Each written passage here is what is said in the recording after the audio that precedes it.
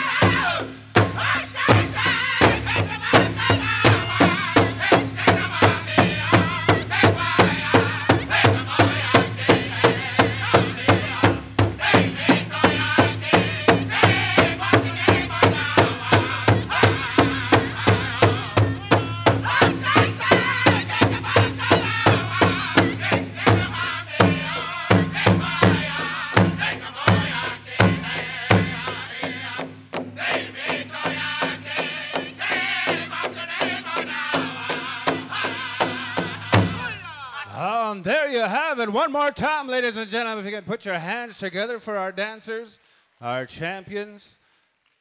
And if we can uh, just say a great big Chi-Miigwech on behalf of the uh, Wapioke and Fox family.